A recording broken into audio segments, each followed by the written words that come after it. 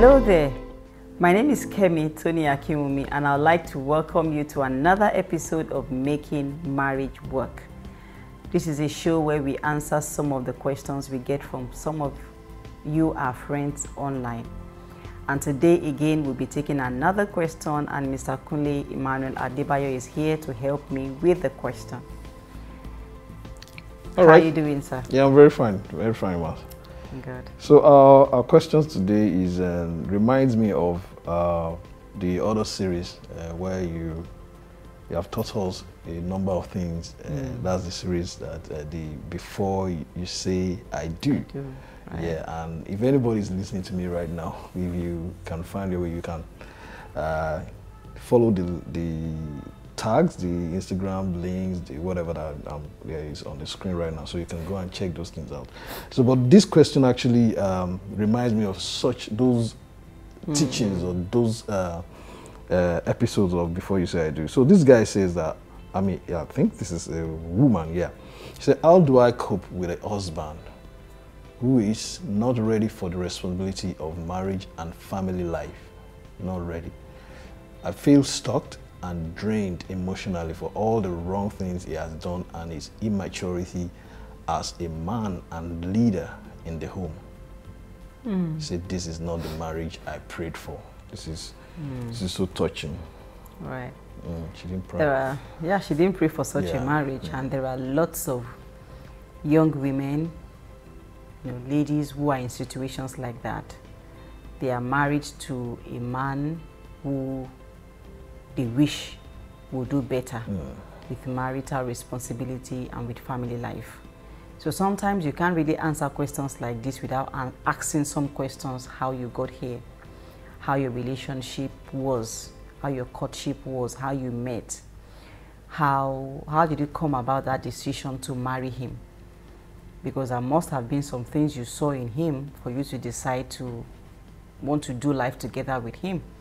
And right now, here you are, come, you know, this is not the marriage you prayed for. So, were the signs there? Did you ignore the signs? Did, this is not to judge or blame anyone, but really we have to look at those, you know, aspects too. That how did you, why did, how did you get here? Did he change or was he a good man? Was he responsible during relationship? Was he matured? Was he emotionally stable? And then something happened and currently from everything you have painted of mm, him, he's not a leader, he's not taking up responsibility for the marriage and for family life. So uh, from what she has painted, it looks like a man, from our own definition of a man who is not meeting up to our expectations. The man, you know, a man not meeting up to the to the picture she has of who her husband should be. Now she's she's drained, she's emotionally, you know, distressed, she's we don't even know how much of effect this is already having on her. So how do you cope with with such a man? The first thing is that yes, you still have a life. Hmm. Yeah, the, the marriage is, is just a part of our life. It's not, it's not our life. Marriage is not life. It's a part of it, but a very significant part of it. Because when marriage works, it positively influences practically almost every area of life. Your mental health is stable, your emotional life is balanced, your physical health is doing well, and your, you know, your spiritual life also is flourishing. And then your health, you know, because from psychology we have seen that there is a link between your marital stability and your health. It's been researched that those who live longer will have less health challenges are people who are enjoying enjoying beautiful intimate relationships, you know, with their with their spouses. Um, so the first thing also is back to communication, which I want to believe she might have done a couple of times to want to talk to this person that now you have to leave behind childish behaviors. And then somehow too we have to look at how that guy grew up. People grew up and we have been formed. Some of us have been damaged. Some of us never had models. We never had role models. We never had anyone to tutor, to mentor. You know, we never had a blueprint, you know, of how family life should be or how marriage should be. And then society forces you into marriage. You are 30, you are 35. They just believe because you are 35, you should be married and it's more than the age because you can be 35 and not be psychologically ready for marriage. Mm. You can be 35 and not be you don't have an understanding on the concept of what puts a marriage together. It's not just about your age or having a thriving career or Yeah. You know looking good and having all the biceps and the six packs hmm. right? So it takes it, it, it it's a lot. So this man also may not know. He may not know any better. Hmm. Yeah he may not know. And that's why usually when you ask some ladies they saw the they saw the signs they saw the red flags they kind of saw but they ignored it. Maybe for desperation oh i don't want this one to go. Let me shall marry. Hmm. We'll sort out ourselves. We'll be good. And then now you are married and the reality is begin to dawn on you that oh i didn't notice this. Oh i saw this but i didn't know it would be this bad. But so back to the question you are already in that situation. She didn't Yeah. mention if they have children and i think the will for her for her to be concerned that is not ready for family life Life, which yeah. means you know maybe not even being a present father not concerned about the well-being of the children their growth and all of that. So you won't allow the irresponsibility of another person to stop you from shining to stop you from living and thriving. Because for you to know then the onus is on you to deliver on what you also know. Yeah. because for how long will you wait for him? But mm. communicate with him lovingly. Look for events that can you know mentor that can that can inspire him that can expose him to more knowledge you know encourage him to attend meetings like that send him the flyer send him the link prayerfully you know nicely talk to him you know and then and model what you want model the things you know that you expect because he cannot deliver those things you know until he becomes the person who can deliver it so you can't just expect him to deliver. He first of all has to become another person. And in that becoming, a lot would happen. Knowledge, exposure, mentoring, love, understanding, patience, you know, and somehow to empathy. Because if he knows better, he will do better. So Yeah. if you look at it, him, his upbringing may not even be anything to write home about. So where do you expect him to have seen a template or a model from that he wants to use in his own marriage to to build his own marriage or family life? However, that's also not an excuse to say nobody raised me well, so I'm also not going to raise my children well. That's not an excuse. The moment you decide to get married and have children, you must do everything to be responsible, you know, for that life. So encourage him, expose him, you know, prayerfully talk to him, let him celebrate him in the little things he does, in the little effort he makes. Celebrate him. Let him let him have positive feedbacks from you. If the criticism will come, let it be very, very, very constructive because you don't want to damage him further. Right? And then the most important part is that for you who knows the little that you know, you also don't want to say because your father is not doing anything, I will also throw my hands in the air. No, you also have to then double up and begin to model. So he begins to see you modeling.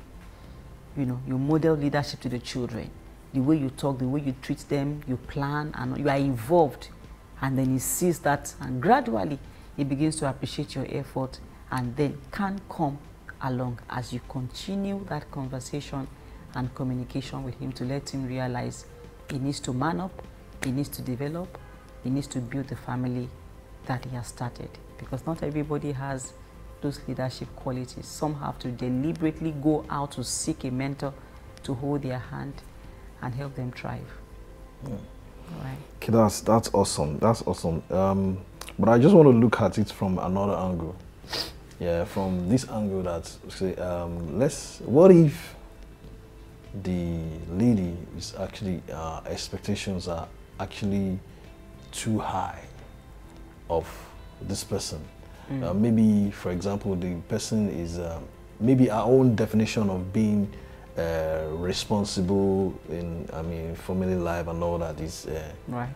overboard. Like, Right. man, why are my children not going for holidays uh, in every summer, or why all those kind of stuff? Do you understand? So maybe, so why, why, why, why? What if it's like that? So, so what will you, what will you say to that? Right. Thank you very much, Mr. Akuni. And I like the angle that you've expanded it to, to say that every, every one of us, everybody who is married came into marriage with some expectations. And sometimes those expectations are not clearly stated. Even if they are clearly stated, there is no way you would clearly state all the expectations you would have of your partner in marriage. But we all have expectations. We all have the ideal in our minds. We all have what I want my husband to do, what I want my wife to look like, the things I will be happy if he or she does. But then, will it be fair to expect a 90% from someone who is delivering at a 20%? That's when your question comes very, mm. you know, interesting to say that it is true some people can actually have high unreasonable, permit my word, expectations or demands of their partner and to them that is a picture of who a leader is. Mm. That's a picture of who a supportive husband or a supportive wife is. So that person is living in the dreamland because you cannot expect so much and the reality is not delivering it. Because your, your expectations should match the person you are expecting such from. So you, you can't expect so much of someone who cannot deliver it. Mm. So will it be fair on that person? No, it won't be fair. It will be you that you are not being realistic with your thoughts and demands. Mm. And so for someone like that then, it is for that person to look inward. Because how long will you keep hurting yourself? Because you are you are you you desire something from this and repeatedly the person has failed you. So it's for you to then flip it. Perhaps this person doesn't have what it takes.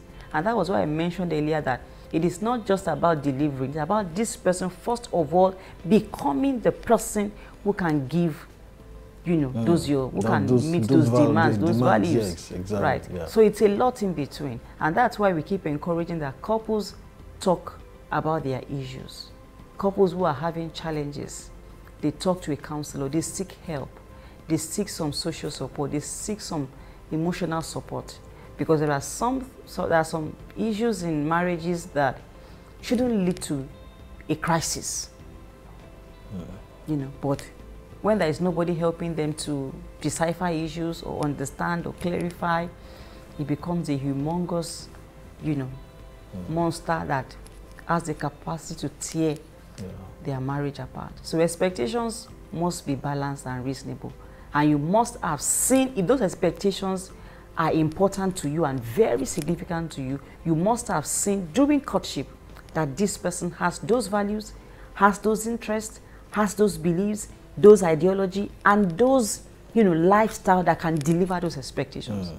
If you cannot see that at that at the courtship level, do you expect a miracle to happen? Yeah. No. Get it. No. So making a, looking for what you want during courtship and making a choice to stay or to walk away, then that's very, that's what we should focus on. Yeah, that's, that's, that's, that's, that's awesome. I think that, that's, hmm. that's balance this, this stuff. Thank you very much once again. You're welcome. Thank you so much yes, too for yes. being here. All right. Well. So that will be it for today. We'll see you at the next episode of Making Marriage Work. The African community can change by impacting one African family one at a time. Thank you very much. See you next time. Bye.